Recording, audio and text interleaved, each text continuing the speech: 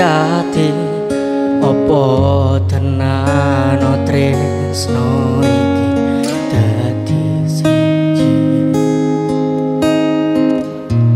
Mantep anggonku mikir ra ono sithik kuwatir crita iki bakal apik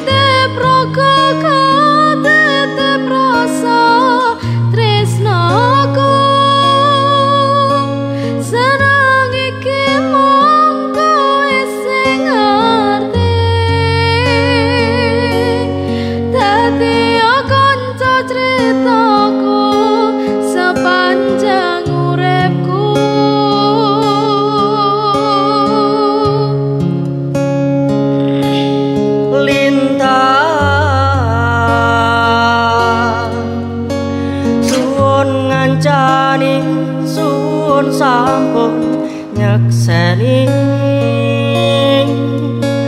padangi